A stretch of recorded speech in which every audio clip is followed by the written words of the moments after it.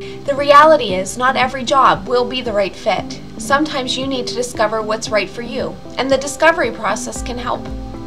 What is the discovery process? Let's keep it simple. Employment pros will get to know you, not just at school, but at home and in the community. Learning from you and those that support you.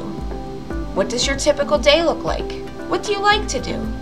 What are you good at?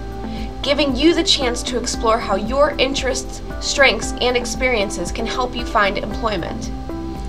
Young adults who have gone through the discovery process have been able to figure out what job types might fit them best and brainstorm with professionals about how their skill set might fit in with an employer. Sometimes people get hired to do a very specific job, or they learn they have a skill that could become its own business. That's right, the discovery process could help you own your own business one day. The discovery process is all about you.